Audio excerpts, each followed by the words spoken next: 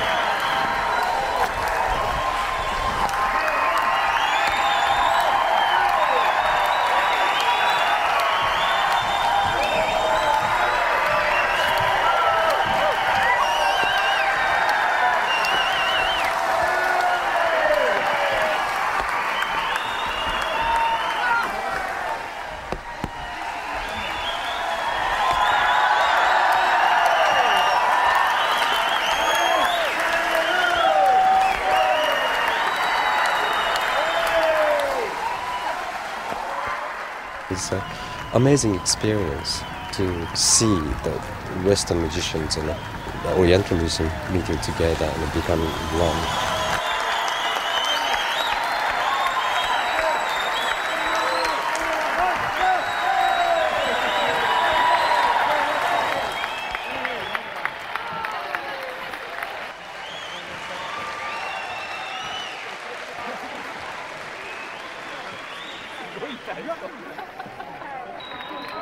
It was just a pleasure to see you here. Thank you.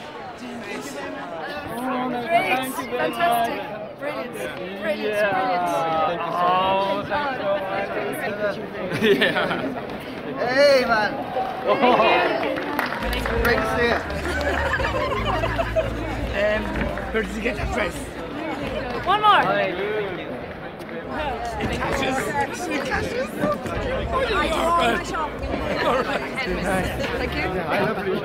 Thank you. Thank you. Twice on Sado, this is the third time. Yeah.